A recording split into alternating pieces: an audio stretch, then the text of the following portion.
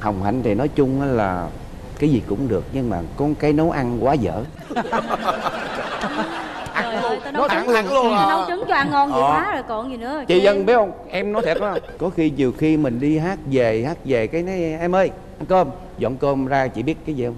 Là cái món món mà món Xuất mà món, mà xuất sắc nhất là trứng kho. Trứng kho. Trứng cái kho kho là là quậy quậy vô kho cái là xong. Ủa là kho chứ không phải là trứng kho hột ờ, thịt kho hột gì không không, không, có- chỉ có trứng kho nếu mà được cái đó. như vậy là đâu có nói gì.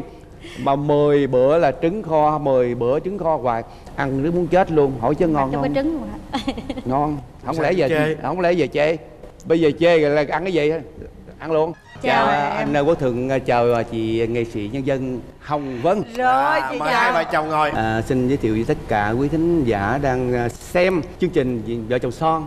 Trung Tử Long xin giới thiệu. Trung Tử Long là tên thật là Lê Văn Trường sinh năm 1970 quê ở Sóc Trăng. Hồi nhỏ thì cũng đam mê nghệ thuật cho nên trốn nhà đi cải lương. Rồi bây giờ mời chị giới thiệu về mình. Dạ em à, à, biệt danh là Hồng Hạnh à, tên thiệt là Nguyễn Thị Hạnh sinh năm 1977 quê ở Long An rồi bên đây nè hai vợ chồng hai nghệ sĩ Dạ. ờ, đã từng là diễn chung với nhau rồi bây giờ là ở chung với nhau Dạ. đó bây giờ nhân tiện ngày hôm nay đến với chương trình vợ chồng son Hát thì chung với nhau. quốc thuận với Ừ. chị Hồng Vân Dạ. và khán giả ở đây cũng rất muốn được nghe hai vợ chồng Hát hoa chung điệu với nhau, Đó, đó. hát chung với Ừ, nhau đó. Câu sẵn sàng cái đó là em sẵn rồi sàng bữa nay thì phải là là, là, là chơi hết mình luôn hả Rồi, Chết hát mình mình đi chết mình đi Dạ. Nhiều đêm thức tròn để nhớ thương anh. Nhớ quá làm sao biết ngõ tìm. Tay trắng anh nào mơ với mộng, nên trời đài hai đứa phải chia xa.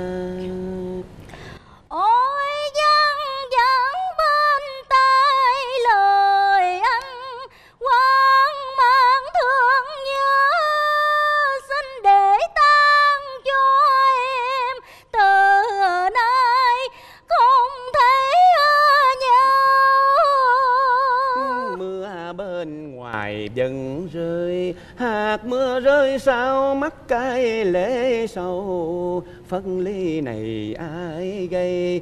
Trời cao ơi sao nở gieo chi đoạn trường? Ôi cây số phần âm yêu ác nghiệt sao có gieo mãi lên mái đồ xanh vừa biết thương yêu nhau? Trong mái ấm bình thường trong tình yêu gắn bó. Thấy chưa? Quỳnh ơi em ở đâu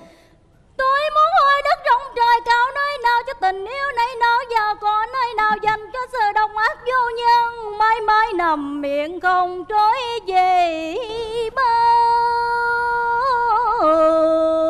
giờ hay quá trời ơi trời. chết cái chữ giờ đó. Dạ. Ủa như vậy là chắc chắn là hai người là gặp nhau trong đoàn hát đúng không? Dạ đúng rồi. Cái ờ, sự thật đó là như thế này Trung Tử Long với ông Hạnh gặp nhau có đó là một cái duyên số thôi.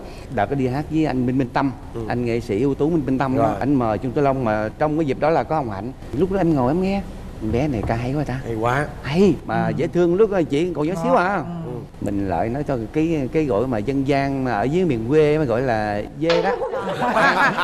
Thả dê đó dạ. Em ơi thôi giờ vậy đi. À, anh với em sẽ làm một cái à, video clip Ừ. thử đi rồi được rồi em sẽ à, hợp tác với anh. Cái tự nhiên hai đứa hợp tác với nhau rồi cái bắt đầu cái quay chung rồi cái lúc đó đi hát cái cũng mình cũng có những cái show đó mời à, hạnh này thôi đi hát với anh nha. Mà Thì lúc đó là nhiêu tuổi? Cái lúc đó là cách đây nhiêu năm rồi nè? cách đó khoảng 10 à, 14 năm à bốn năm. 14 15 năm à lúc Hồng Hạnh cũng còn nhỏ mà. Ừ. cái Hồng Hạnh nhận lời mà chị biết rồi hồi đó mà nghệ sĩ đi hát anh em nghệ sĩ khổ lắm.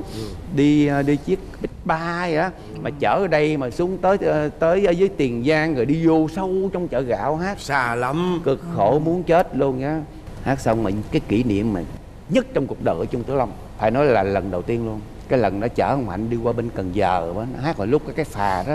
Lúc đó mới quen mà mình cũng đâu có dám mình cũng ra lăng lắm chở này kia nha. Đi qua tới bên Cần Giờ bên cái xe bách ba nửa đường nó bị bể bánh. Mà lúc có khoảng 11 12 giờ ai đâu giá. Mà nghĩ cái chiếc bách ba mà chị rồi làm sao? Mà diễn xong rồi đó. Diễn xong rồi Ờ, đó. cũng hên ha. hai giờ khuya đó Ừ, đúng ừ. không? Em đẩy từ mà cần giờ nửa đường cần giờ mà em dắt bộ dắt bộ gần sáng mới xuống tới bến phà. Trời ơi tội không? Thảm không? Là từ cái chỗ đó mà bà- hai đứa luôn hai, Hai đứa, đứa. em dắt là hồng anh đi bộ theo. Dạ.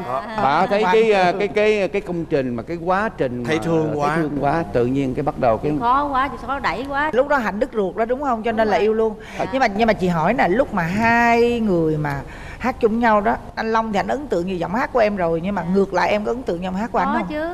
Anh hát hay á giọng ấm trầm quá trời luôn. Dạ. Tuy là chưa có nổi tiếng nhưng mà lên hát thì khán giả đã rần rần. Ừ. vỗ tay dữ lắm. Thì em nghe anh ca xong mà bước lên khán giả thích rần rần nhưng mà cái tướng ngon lắm. Chết cái chỗ ngon đó kép đó đúng không Ờ. kép mà. Ừ. Mấy năm còn ngon nữa. Tướng giờ vẫn ngon mà. Ờ Ừ. có nghĩa là ấn tượng từ hình thể cho Cho đến giọng hát ừ, đó. đúng không? Dạ. có khi nào mà ảnh á là đàn anh em là đàn em có khi nào đàn anh luyện cho cái giọng hát của em không? Cái đó là nhiều luôn. Em biết ơn. Nói chung là dạy tất cả cho hạnh được như ngày hôm nay thì hạnh tức là anh vừa làm chồng vừa làm thầy của em Dạ, luôn phải rồi, không? dạ. đó dạy dỗ từng Dạ, ly dạ. từng tí một. Nhưng là thánh sôi luôn á anh. Em ờ, nhớ cái đầu cái album đầu tay đó là em hát một cái bài đó mà không được. Mà em khóc em khóc ròng ròng đấy ông nói không cái chừng nào được thôi. Mà em nói trời ơi cái kiểu này ca bình thường là không nổi mà ca chồng lên tuốt ở trên nữa. Nhưng mà sau đó em làm được. Dạ em Thì làm đó, được. em thì- em quyết lòng em làm được. Thì những cái bài của em ca nó người người người khác nói chị ơi có hơi chị cao quá em không ca nổi. Hồi đó đó lúc mà khi mà em có tập tành sáng tác gì cho tức là lúc mình mê quá mình yêu quá mà. Yêu như bỏ hết mình dạy nè. Tại vì thường á là bí kíp nghề nghiệp là cũng Dạ. ít ai mà dốc hết lòng để mà chỉ bảo vậy đâu. Đó rồi có mê quá rồi có sáng tác giống như mấy ông nhạc sĩ mà mê một cái một cái gọi là nàng thơ. nàng thơ của mình á chị có à, không? bên cái lương ở đây là hình như là chỉ có một mình Trung Tử Long là một cái người đo ni đóng giày cho Hồng Hạnh bởi vì những cái bài hát của Hạnh hát á là là là em biết không ạ? Ờ. bởi vì cái cái bút danh không phải là Trung Tử Long mà cái bút danh của em là Trường Giang. À. thì những cái bài hát nào mà ở trên mạng trên youtube á trường giang á là là đều của trung tử long hết. À. em đã viết rất là nhiều. À. Bữa nay mới biết đó nha. Là em viết riêng cho hạnh. Dạ. Rồi á là em đi diễn đi ơ đồ rồi em có cho ai diễn với hạnh không? Hay là chỉ có em độc quyền thôi? Độc quyền luôn hình chơi. như là hai đứa có cái cái cái trí với nhau rồi. Khi mà lên hát á mà em hát với người khác á thì nó nó không có cái sự mà ăn không có nhau. đã ừ đúng không? còn hát với hồng hạnh đã quen rồi trước khi mà anh trung tử long á gặp hạnh á Dạ. là anh đã có mối tình nào chưa? Trước đó thì um, trung tử long đã có một một bà vợ trước. À có một gia đình rồi. Của gia đình rồi thì à, hai đứa có một đứa con ừ. thì đứa con sau này nó cũng đi theo nghiệp mà của cha nhưng mà nó đi rẽ hướng khác cha thì ca giọng cổ nhưng mà con thì à, Hát tăng nhạc. ca nhạc Yeah. thì đó là ca sĩ à, diệp tư đồng hiện bây giờ đang sống với à, trung tử long còn em thì đó sao mẹ dạ, kế em thì à, cũng ờ, đổ vỡ gia đình vậy đó rồi mới gặp à, long đây À. Mình cũng đã lớn rồi cho À. nên cũng có suy nghĩ mình chín chắn hơn hiểu nhau những gì tật xấu hay là những cái gì mấy thì mình cảm nhận được thì à, đến với nhau ừ. Rồi hai chồng á lấy nhau rồi bây giờ qua phần thứ nhì nha. Dạ. phần thứ nhì bắt buộc phải có nha. Đó. Là giờ nếu vậy thì á, có hé lộ cái tật xấu gì không? Rồi. hay là vẫn đẹp như là lúc mà mình đang yêu nhau? Hai người đã cưới nhau được bao lâu rồi dạ chứ cũng ờ, hai đứa, đứa sống chung với nhau năm khoảng 10 14 năm. 14 năm rồi đó. Có em bé chưa? Dạ chưa. Nếu gì nói mà xấu thì chắc nhiều lắm chị. Mời dạ, hạnh dạ, nè dạ thì à, đi hát chung với em đó. Thì mỗi đêm nào cũng hát tại vì đêm nào cũng lịch diễn suốt mà. Chỉ có cái nhậu thôi. Hát xong rồi ở lại nhậu. Không chưa có hát chưa có đi diễn mà chiều đã nhậu sớm. Lên sân khấu á cầm cái micro ở đây mà cà dịnh sân khấu rồi mà đứng hoài. Em giới thiệu rồi mà sao anh không lên? Em giới thiệu em cao một bài rồi đó, sao anh không lên? Thôi lên hết nổi rồi. Rồi bắt đầu mấy chiều xuống cái khán giả hỏi, ủa, trung tử long đâu? Lại thấy một mình hát người ta mới hỏi cái em nói, trung tử long bị gió, trúng gió. Bà con bây giờ nếu không tin á thì cứ ờ, ra sau hậu trường. Thì thấy ổng ngồi ba bốn người về xuống xe, người ta nói, chết rồi, ông vòng trúng gió thiệt rồi đâu dám nói xỉn. Lâu rồi phải không? Dạ, lâu. Chuyện rồi. xảy ra đã lâu rồi bây giờ là bây giờ là không có như vậy nữa đúng không? Không Còn chứ không? giấu gần đây có nữa. Trời ơi tái diễn nữa. Nhậu xong á tôi nói anh ơi bây giờ mình yêu chồng mình phải yêu luôn cái tật xấu của chồng mình. Thì em không nhậu được thì thôi em ở nhà anh nhậu nhưng mà anh nhớ đi xe hơi taxi rồi về đi. Không cái chạy xe Honda về lộn cho 10 vòng mới đây cũng khoảng tháng trời ơi. Té sao không? đeo nơ tùm lum hết trơn cũng luôn không sao gì à, trên đầu mai khoảng- khoảng à, sáu Tám mũi. Mũi. đeo nơ đeo sáu cái nơ. Dạ. còn gì nữa không? Có điệu đàn không? Trời đất ơi, thôi khỏi nói. Thánh, em nói rồi. chỉ là thánh sôi. Kỷ niệm coi như là lần đầu mà đi ờ, cua mình đó không có tặng bông hoa đấy thôi. Cái này không có không có làm gì được. Nước hoa mà tặng tới tấp. Tôi nói ngồi kế bên hả mà tôi nói ủi tôi, trời ơi nực nồng vậy đó trời ơi gì có vậy? nghĩa là mê nước hoa. Nước hoa Đi tắm nước hoa đúng nước không? Hoa mà đi đâu giờ cô? Sưu tầm nước hoa về tặng cho em. Nè À. tôi tặng cho ghệ ghệ chai nước hoa chứ kia tặng bông thôi. Ủa nhưng mà là ảnh tặng nước hoa cho hạnh đúng không? Dạ đúng rồi. Rồi Ảnh ảnh xài cũng luôn. nước hoa luôn. Dạ, nước hoa có khi nào hai vợ chồng xài chung chai nước hoa không? Có chứ cũng có nhưng mà ảnh tặng là tặng nước hoa nữ. Bây giờ em mong ổng thay đổi cái gì nếu em mà mong, à, em mong muốn bớt á, bớt soi em bớt soi em chút bớt rồi. soi có bớt nhậu À. không? Có bớt nhậu thì không cái chuyện nhậu là cái đó là phải hẳn nhiên rồi. Là mong không Là mong, mong- đi mong, mong. chị cũng mong chứ đừng nói lại bên lòng đó.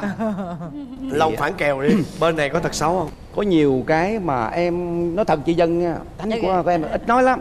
Nhiều khi á, là cái người đàn bà thứ nhất là ra đường tất cả phải tươm tất từ đầu mặc quần áo cho tới cái đôi dép. Nói này hai vô. Hỏi vô làm gì? Nói vô là biết rồi vô là để thay bộ đồ khác à, ăn mặc chỉnh chu. chỉnh chu ừ, tí. chỉnh chu. Còn một cái là lên lên hát. Em nhiều khi hát tự nhiên em quay cho khác hoài. Nó ủa gì kỳ vậy? Sao tự nhiên mỗi, mỗi bữa hát bình thường? Bởi vì tại vì á, là lên sân khấu không tươm tất không tôn trọng nghề là em ghét em không thích. Em quay cho khác em Thánh không hát. thôi, thánh thôi đó. em hát xong Dạ. quay hát thôi sao vậy? Em kiểm tra lại đi. Lên sân khấu thứ nhất là phải tươm tất phải cho nó gọn gàng quá. sạch sẽ. Để là mình phải tôn trọng nghề của mình rồi cái đó là chỉ cái cái bề ngoài thôi. Bây giờ cái cái cái bề trong nữa nào? Hồng hạnh thì nói chung á là cái gì cũng được nhưng mà có cái nấu ăn quá dở. Trời ơi, tao nấu Nói thẳng thẳng luôn à. nấu trứng cho ăn ngon Ờ. quá rồi còn gì nữa chị dân biết không? Em nói thiệt đó. Có khi nhiều khi mình đi hát về hát về cái nói em ơi ăn cơm.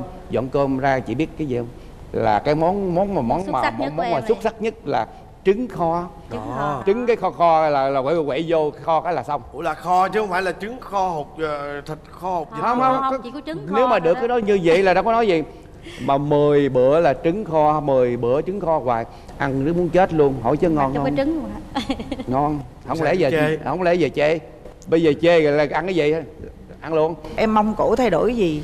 Em thì à, em cũng không không mong mong muốn gì hết em chỉ mong là hồng hạnh nào lúc nào cũng vậy bếp nút là về là thí dụ như là nội trợ gia đình đó nấu cơm rồi thí dụ lâu lâu cái mình mở lên mình xem chị hồng dân là chị dạy ra tới ăn thế nào à, chị chỉ dạy nó ăn thế nào là mình phải học hỏi để mình Chắc nấu cho à, gia đình cho chồng cho À. con đó là Rồi chỉ em sửa cái đó em sẽ nhận ờ, rồi Không. sẽ thay đổi đúng không chị dạ. đúng bây giờ nè chị nè chị nói thiệt cái bằng kinh nghiệm của chị thôi Dạ. đúng không thì mình cũng nghệ sĩ hết thực ra mà nói á có những lúc mà mình quá mệt, Mệt, mình đi diễn rồi quá. mình mệt quá đi dạ. nhưng mà thực sự là như vậy cái người chồng của mình á lúc nào cũng vậy lúc nào cũng chỉ thích ăn những món ăn mình nấu thích mặc cái bộ quần áo Ừ. mà mình chọn dạ. mình ủi thực sự mấy ông mấy ông ngộ lắm Ừ. Tức là người khác ủi nhiều khi ngon Ờ, hơn mình đúng rồi, nấu đúng thành rồi, nó đúng rồi. hơn Đúng, mình đúng. không đúng tâm lý à rồi nấu đồ ăn ngon hơn mình nhưng mà hả cứ Không vợ nấu là thích là Ừ. ngon tại vì sao cái đó nó nó không còn là cái vấn đề mà cái cái khẩu vị nữa mà nó là cái gì nó là cái cái cảm xúc á Dạ. Là cái món ăn đó là món ăn của cảm xúc. Mình có thể không ủi được bộ đồ mình có thể này nhưng mình quan tâm quan tâm liên tục vậy đó. Ờ anh ăn gì chưa? Sáng dậy sao? Ví dụ mình có không có đi gần nhau đó ví dụ vậy. Cái đó là cái cách mà chị chăm sóc chồng của chị. Trời có nghĩa là đi đâu đi chăng nữa là chú cũng hỏi sáng nay anh ăn gì chưa nè? Hôm nay trong người thấy sao? Dạ, abcd không tới bây Dạ, giờ dạ, luôn cái đó là chị dạ. nói nghiêm túc. Thì ngược lại ảnh cũng vậy với mình chứ không phải là một mình ơn mình cái đó ý cái đó là không? một cái hạnh phúc gia đình muốn Đúng lâu rồi. dài là phải cần chăm sóc cái thế đó quan tâm lẫn nhau Đúng. Đó. đúng Dạ. rồi cảm ơn Rồi, cảm ơn long và chị Dạ. hạnh